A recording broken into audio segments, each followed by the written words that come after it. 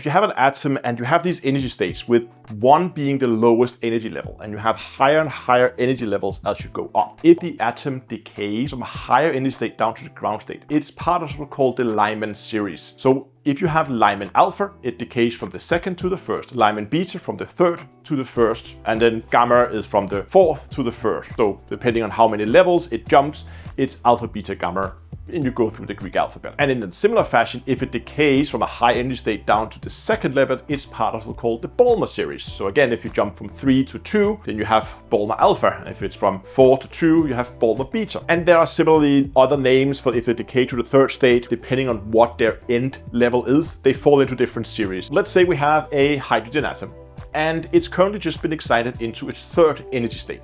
From this point, it's now primed to decay. The most common decay from this state would be a Lyman beta decay so that it jumps straight down to the ground level. But the one we actually use is the less common Balmer alpha decay where it jumps from the third to the second and that's what people often refer to when they're talking about hydrogen alpha. That is the Balmer alpha decay of the hydrogen atom.